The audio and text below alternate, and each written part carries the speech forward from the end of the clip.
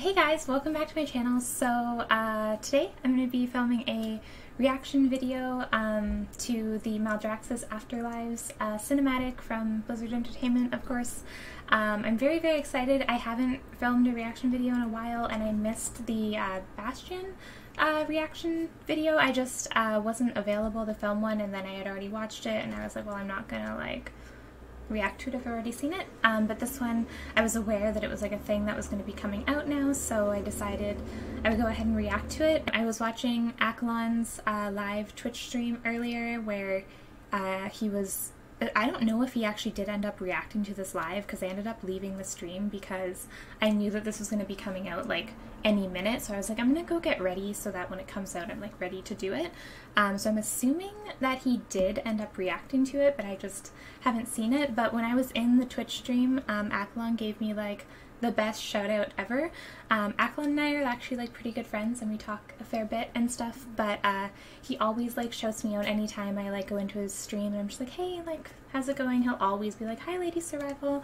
And this time he I like posted a comment in the chat and I was like, oh, like maybe I should go get ready and like actually film a reaction video this time. And he was like, you should do it. You should really be focusing on YouTube more. And he literally like pulled up my Instagram and like showed the chat my Instagram and was like, would you guys watch this girl's YouTube videos if she made more of them and stuff? And everyone was like, yes, do it, do it. So uh, that made me feel really good and there was actually some people in Accolon's chat that like have already seen my videos before and it just felt like really uh, good and like empowering and stuff so I figured uh, I would do it uh, if not for myself but for Accolon so thank you for inspiring me to try to try harder, try to try harder. So yeah, we're just gonna go ahead and watch this. I have no idea what to expect. I just have it paused, like just so that I had a cool like video frame for this very long unnecessary intro. Okay, so without further ado, let's just get on to the reaction. In life, I was Draka of the Frost Wolf clan. Baby frog, I saw a little baby a warrior who oh. gave everything to protect what mattered most. But I was not done fighting. It's so cool we get to know that like there's more, like when I there's more. Maldraxxus, where the armies of the five houses once stood side by side to protect the realm of death. It was here I served the House of Eyes. A strange fit for a warrior's soul. Again. Their ways were not mine. Faster! Again! Eventually, this life after life began to feel right. Badass. the House of Plagues lies in ruins. One-fifth of Maldraxxus wiped out. It's hard to believe they could be so careless. Perhaps they weren't. No matter what happens now, Maldraxxus must stay true to its purpose. For if we fail in our duty, the Shadowlands will fall. I believe the House of the Chosen still stands with us, and I trust you to deliver this to Margrave Krexus. Now, go. And Draka, be watchful.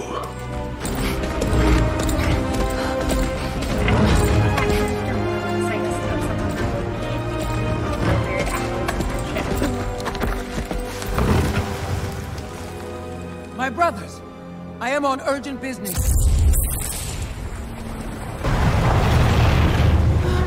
My lord! Hurry! There could be survivors!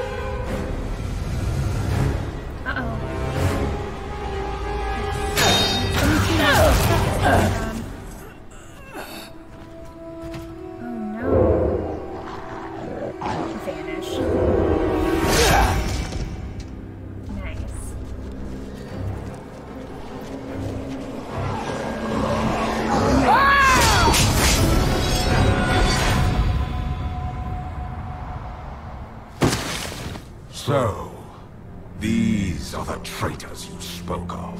I would not let such Urgura prevent me from delivering my lord's final message. Ordeals such as this either break the sword or strengthen it. Hmm. I offer the key to saving Maldraxxus. I am sorry, Margrave. He gave me no key. An unyielding warrior with the skills of a master spy. A key to many things. Come, our enemies will strike openly soon. We must prepare.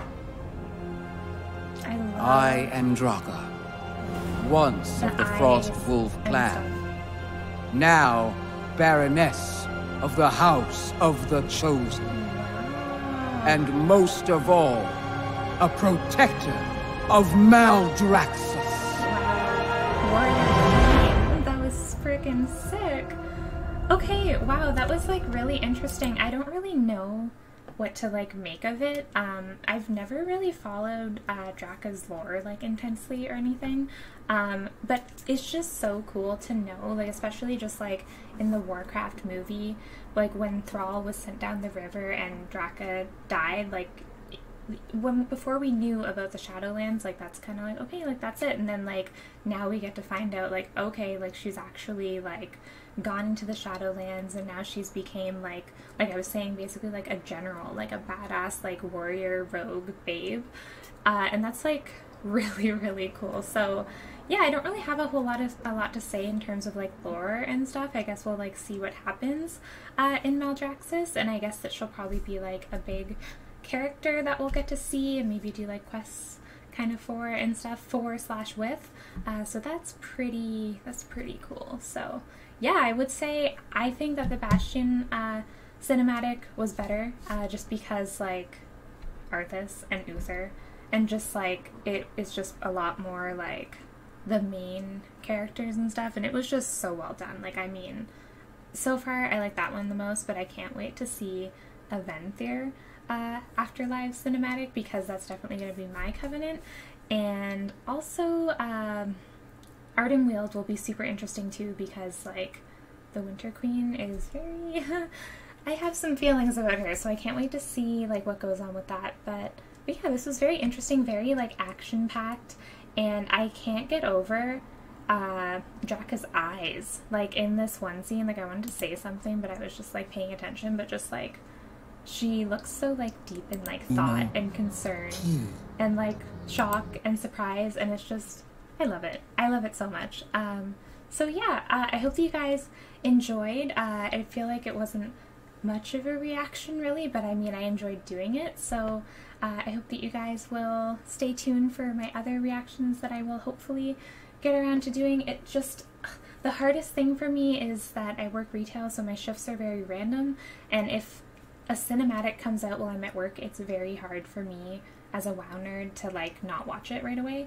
Um, luckily, I was home today, but I'm gonna do my best to actually uh, be able to uh, hold off on that urge if I'm not able to immediately react to it because uh, reaction videos are a lot of fun for me to do because I love World of Warcraft so much and I have a hard time like inspiring myself to do YouTube with like other things. Um, that's why I don't post a whole lot, but when it's like World of Warcraft, I feel very uh, at home with it and stuff. So uh, yeah, I'm gonna stop rambling now, but I hope that you guys enjoyed and I will see you again soon. Bye guys!